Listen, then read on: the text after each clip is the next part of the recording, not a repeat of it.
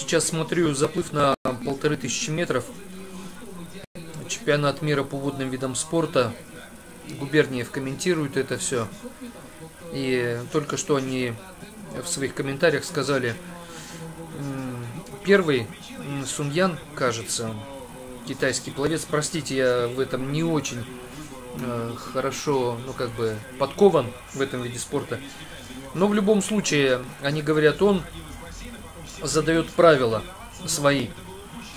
Вот есть правила общие в плавании, но сильнейший задает свои правила.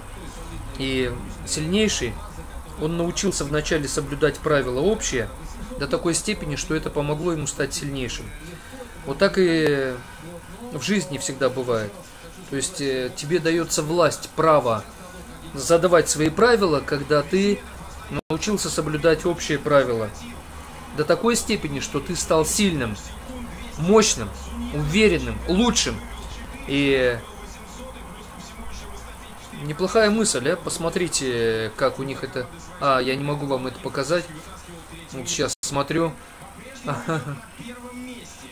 Извлекайте уроки из всего, что вы видите, с чем вы сталкиваетесь.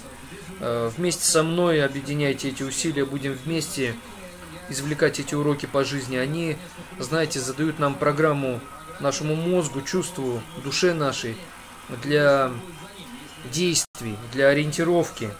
Потому что если мы эти программы не задаем, кто-то эти программы нам задает, и мозг, он постоянно ищет эти программы. Если мы не создаем эти программы установки, он ориентируется на других людей. Вот так. Всем удачи, успехов!